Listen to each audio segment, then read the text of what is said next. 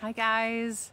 We are on our third workshop today, our third and final soil workshop. It's been fun. I hope that you have learned a few things and I know I have learned a few things from you. I love hearing about what your difficulties are so that maybe I can help you a little bit, maybe overcome them because I absolutely would love to see everybody growing their own food.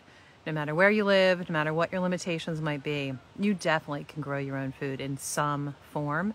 So please say hi, give me a wave, let me know where you're from if you'd like, and share with me, share with all of us what um, what's your number one gardening woe and what inhibits you from really growing your own food. Um, I shared in the first workshop about how to find out where your soil currently is, whether you container garden, whether you have raised beds, whether you have a larger garden, whether you have a small garden, whatever the case, you can find out where your soil currently is, what its current um, situation is, what its nutrient levels are. And it's actually super easy. So go back and watch workshop number one um, for more information about soil testing, the one that I recommend, how it works. I even actually did the soil test with you guys to show you how easy it is. In workshop number two, we talked about amending your soil.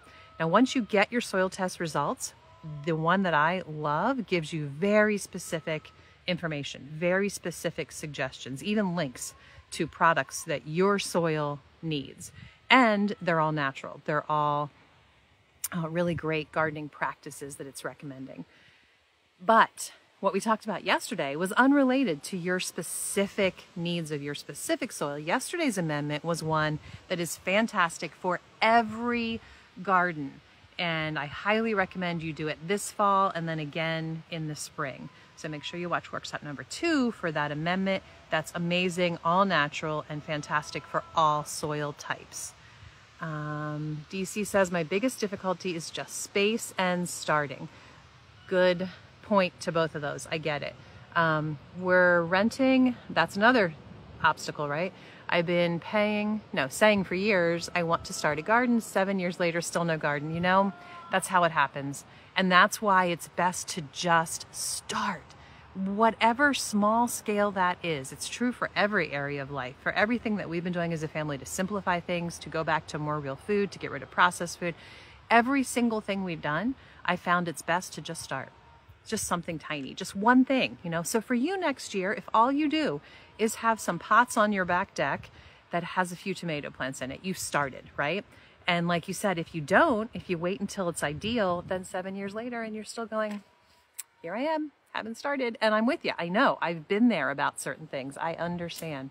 But I highly, highly recommend you take advantage of these workshops and just get started. So glad to see all of you joining. Um, Sandy says, I have a big problem growing big onions, you know a soil test could actually help you with that. It could give you, do some Googling about what nutrients onions really require, and then see what your soil test tells you and amend accordingly. Um, also, rocks can inhibit that. Any kind of root vegetable I have trouble with as well because here in the granite state of New Hampshire, we have a whole lot of rocks. You can, I've had this garden for 10 years and it is still littered with rocks and I remove rocks continually. Every time I'm in here, I'm removing rocks. so root vegetables are hard for me. So there are some things that I just say, you know what, it's okay. I can grow subpar versions of these, but they're still what I have grown. I know everything about this food and I'm going to be happy with my smaller onions. I'm with you. I actually don't grow big onions either, but I do grow onions and I love them. And they have another benefit because they keep the rodents at bay.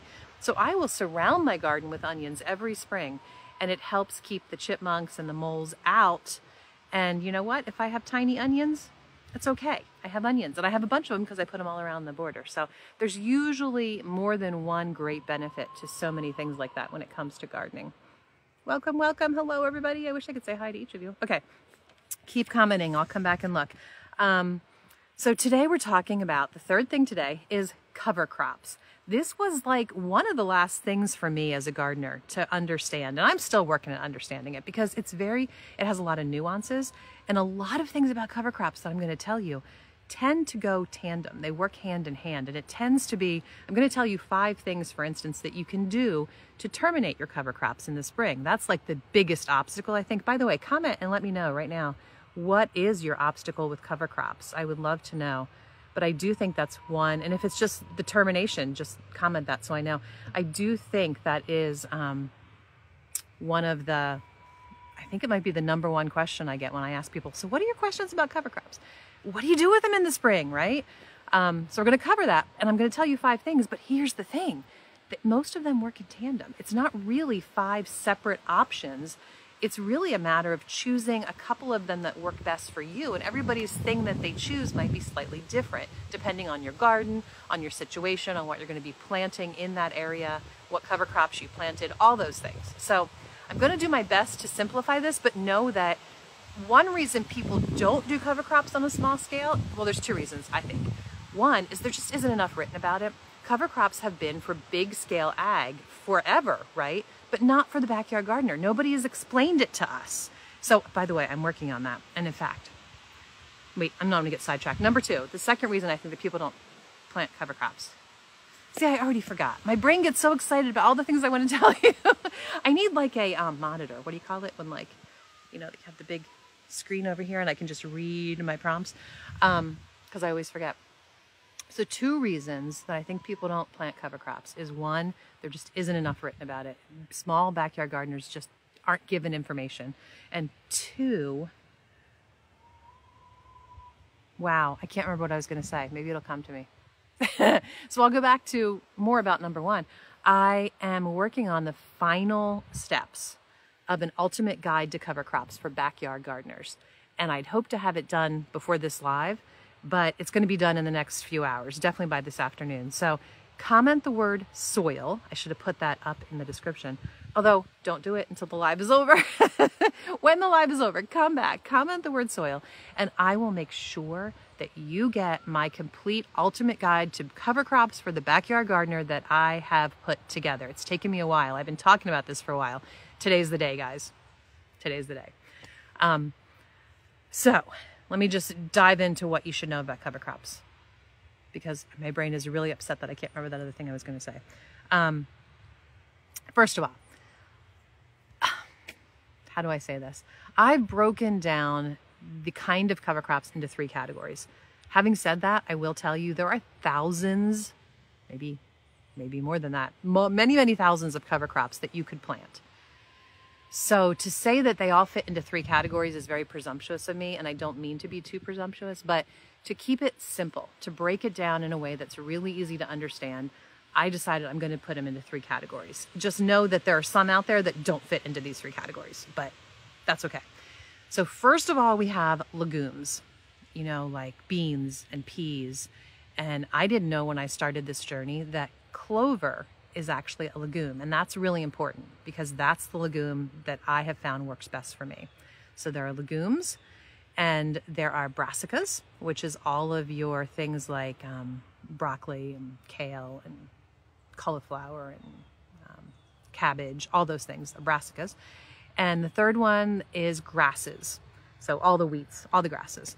Um, and each of those categories, I really have done a lot of breaking down and research to determine which one of those is best for certain problems that you have as a backyard gardener. And maybe some of you will share some of these problems with me now. Um,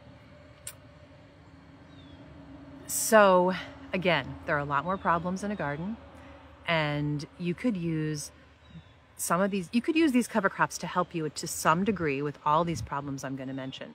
But having done the research and looked into this, this is what I have narrowed it down to. If you have a nitrogen problem in your soil, which is very common, we're going to talk more about that, then legumes is going to be the best cover crop for you.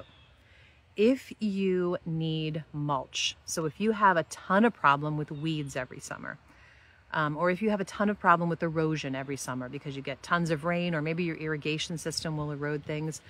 Unfortunately, that also means you're going to have a nitrogen problem, but let's not go there. um, if you have those problems and you need mulch for your garden, then grasses are going to be possibly the best cover crop for you to plant. And thirdly, if you have um, soil that's really compact, which I do in a lot of areas, um, then or or just in general depleted of nutrients, not specifically nitrogen, then probably brassicas might be the cover crop you should look into. So I actually have made a chart, and there's more than that. Um, it's anyway, the chart shows you better what I can't really explain right this second. So that chart is in my ultimate guide to cover crops that's coming out later today. Um, and once you've decided what group of cover crops you want to plant, then you can research all the options in that group. And you can look at your growing season, you can look at your growing area, what grows best for you. Uh, the most important thing with cover crops, at least to me in my small, short window of growing season, is how quickly they grow. So that's a really big thing for me. I want it to be a cover crop that's going to mature extremely quickly. Um, also, another thing, for that reason, it's really important if you live in a, a gardening zone that does have that shorter window of planting. If you want to have effective cover crops, you need to figure out a way to have them grow as long as possible. Now, I don't want that to cut into my growing time of my food, of course.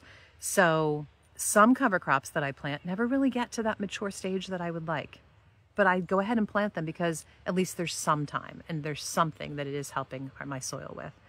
The, the best mature time, by the way, is right before it starts to bloom.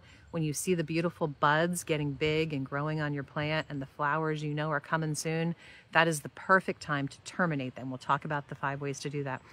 Um, and at that point, the plant is going to start putting its energy and its nutrients into those flowers.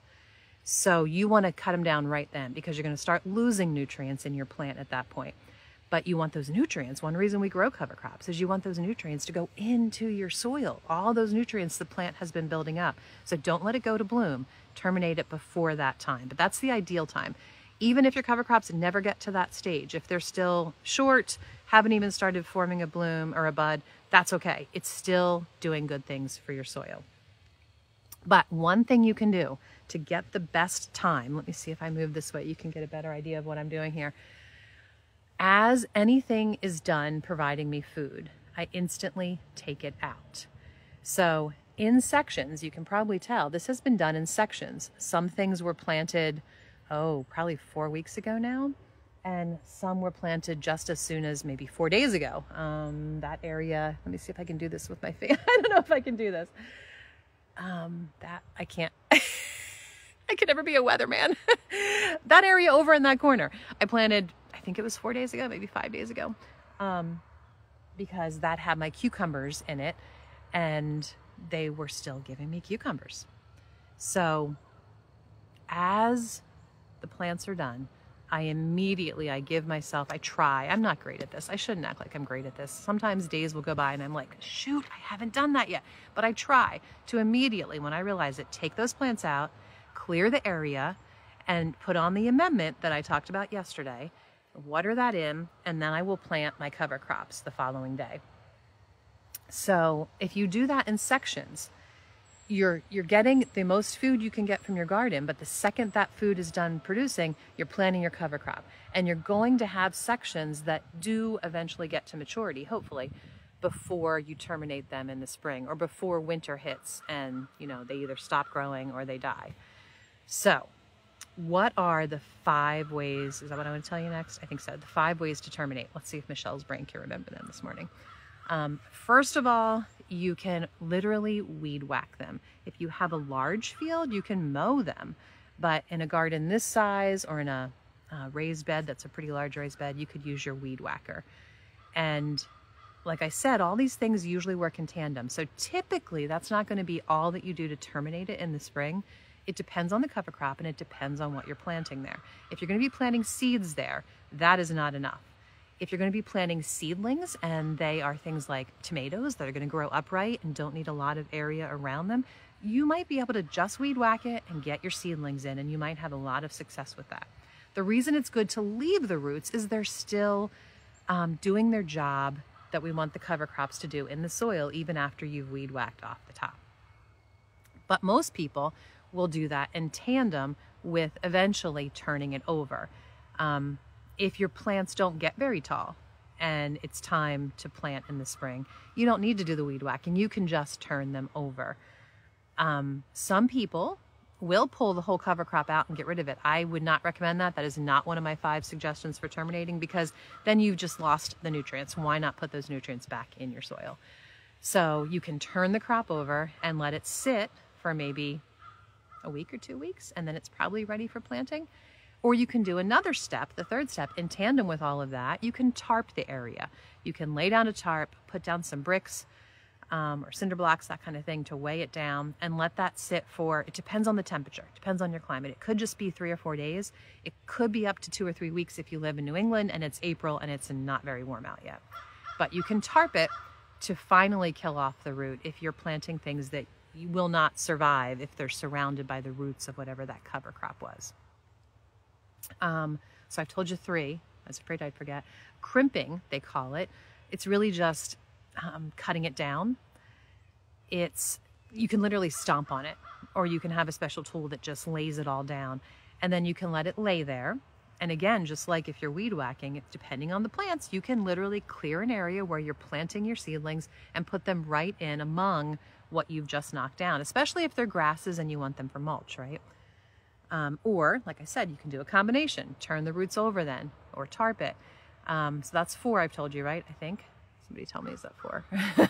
the fifth one, I hope that's four. The fifth one would be actually pretty much the same as tarping, but it's called solarizing it. And you would use a clear tarp and take advantage of the sun's warmth. If you're in New England and you have sunny days, that will help a lot since your weather is going to be colder. Um, but if you're down south and you're tarping, it really isn't necessary. But anyway, solarizing it and using a clear tarp can help speed up the termination process. So, why go to all this trouble? So many reasons.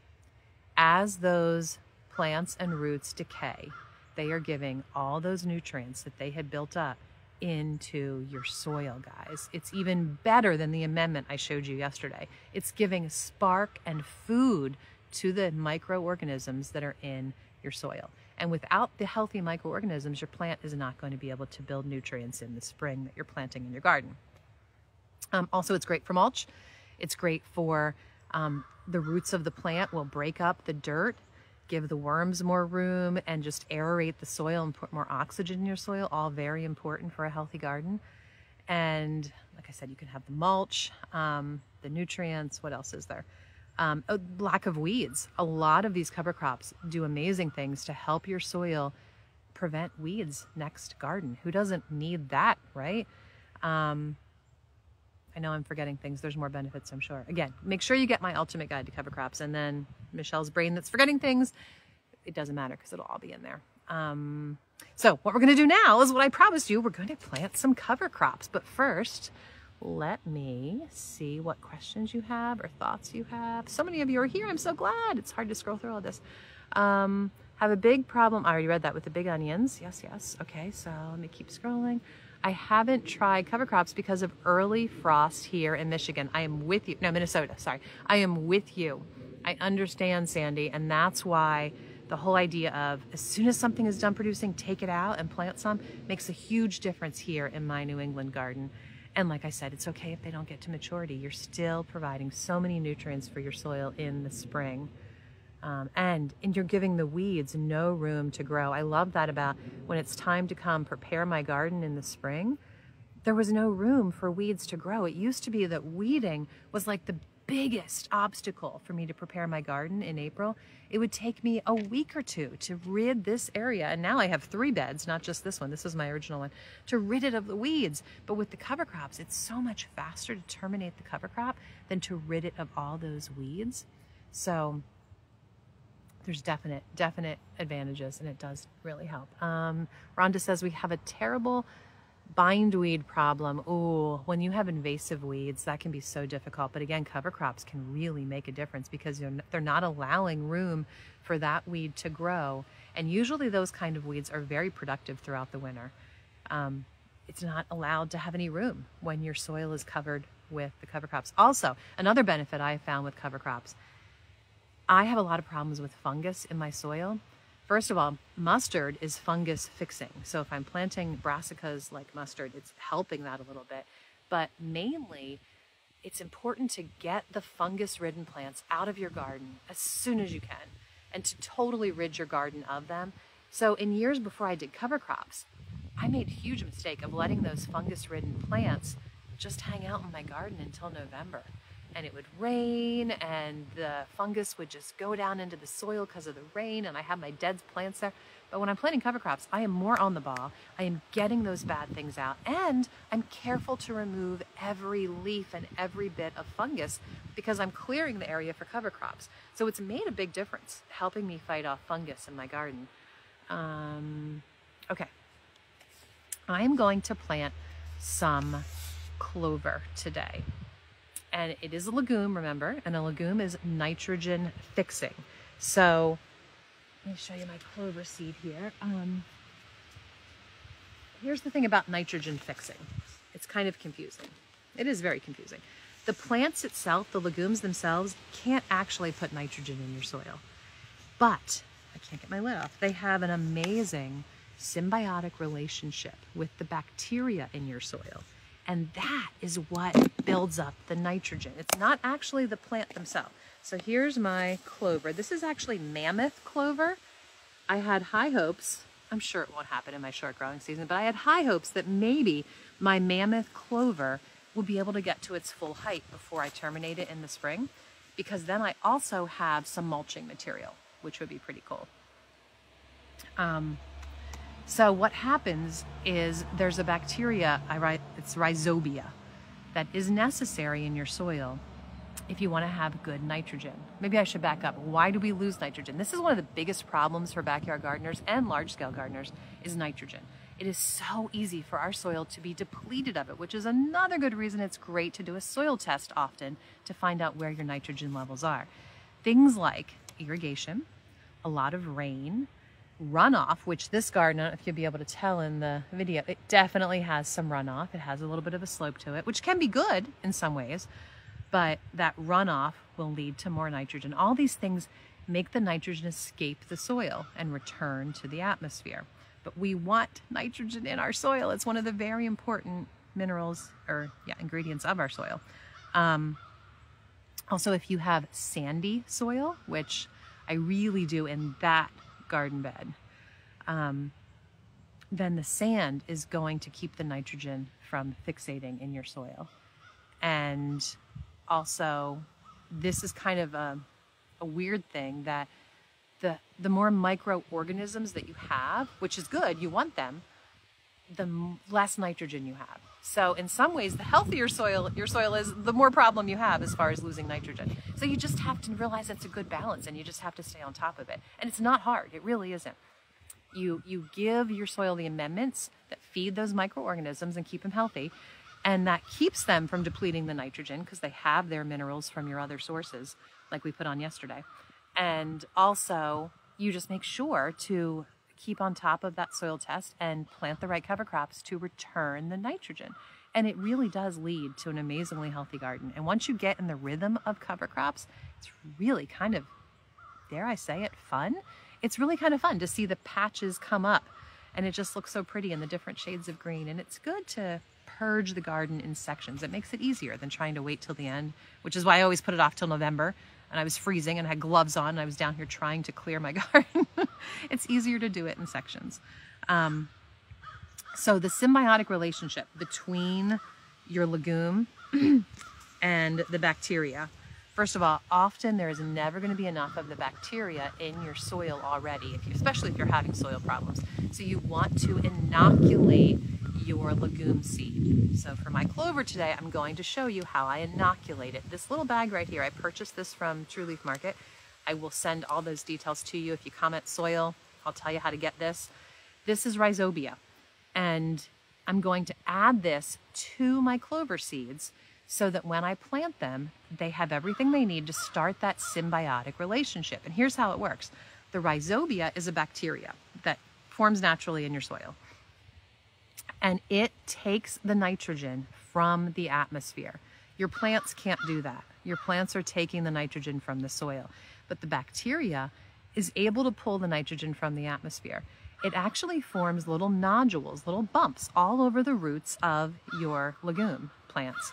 And those little nodules are where the symbiotic relationship happens. And it's so cool how God designed all of this. Everything works in tandem and beautifully. Um, the rhizobia will give the nitrogen to the soil or to the plant and it the plant then in turn is busy feeding the rhizobia. So they switch what they each need and they share it. And the plant is then taking in that nitrogen that the bacteria has pulled in from the air and the plant is putting that nitrogen back in your soil it's so cool. It gets me excited. All these little details of how it all works. So let's inoculate this. This is getting longer than I had hoped. I'm glad you guys are still with me and more of you are still joining. I'm so glad. Okay, let's do some inoculation. It's really simple. It sounds complicated, doesn't it? It sounds like you need to have a PhD or something. it's really, really easy. Okay. I did not bring down what I needed. So right before I went live, I was already a few minutes late. I literally grabbed a wet bucket and I think this will do the job. Um, what I normally would do is I would normally get a just a bowl from the kitchen and put enough seed in it for what I'm going to plant. And then I would get a spray bottle and just very lightly mist the seed. You don't want to overwet it, just enough mist that this bacteria can attach itself to the seeds. And you don't need much of this bacteria either, just a very little bit. Okay, so here's my bucket. Oh, and I just have a small area here that I prepared. I don't know. You know what? Let me move this. Sorry if this is making you kind of dizzy.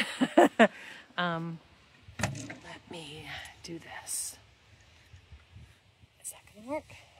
Oh, to make this leg shorter.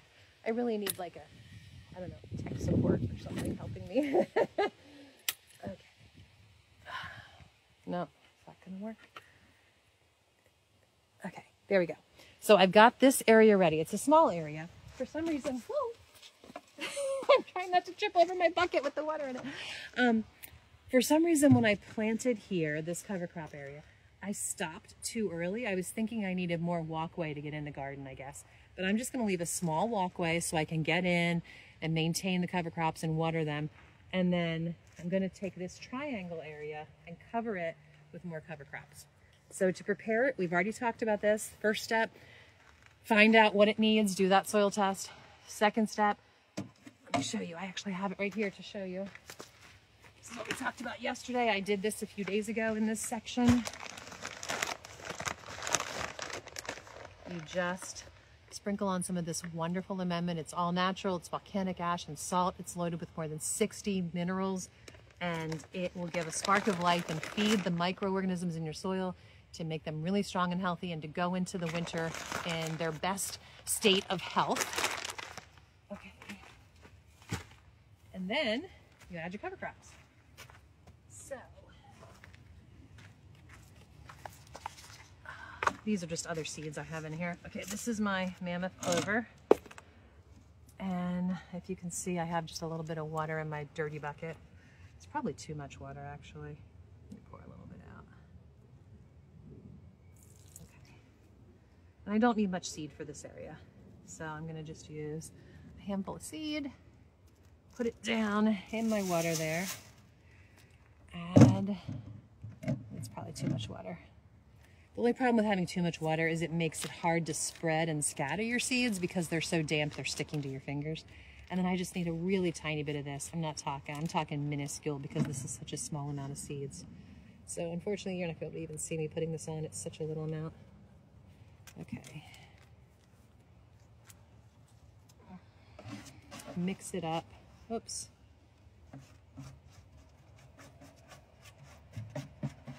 Yeah, it's too wet. Michelle's um, a technique to try and, what's the word I want to use? go with the flow and deal with what I had didn't really work. Because see, it's too wet for me to scatter it now. I just got a whole big clump. Okay, so let's try that. Hmm, I don't know if I'm to be able to do this again because I don't know. I really should have grabbed a watering can and a bowl.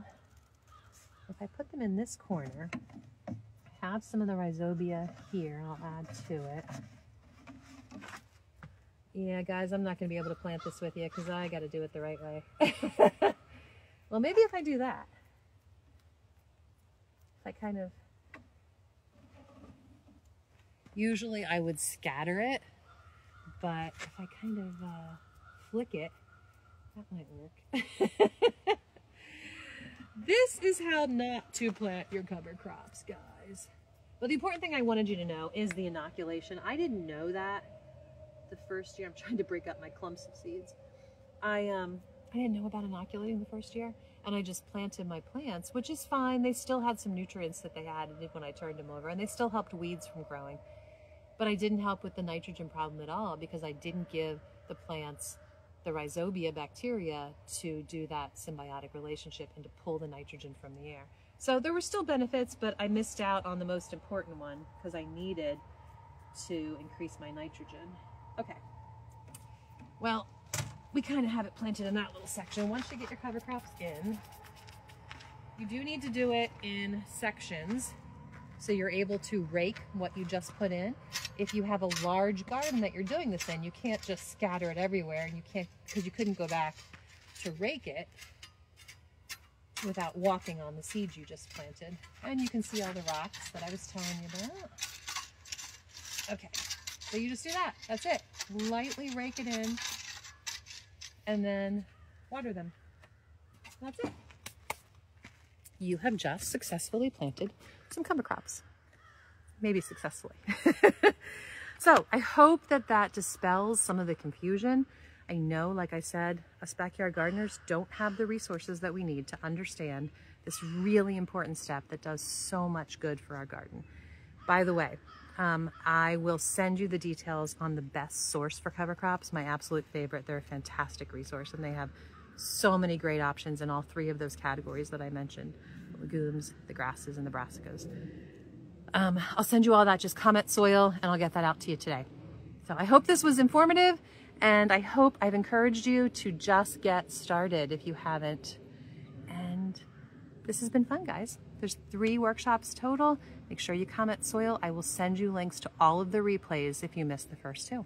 Have a great day.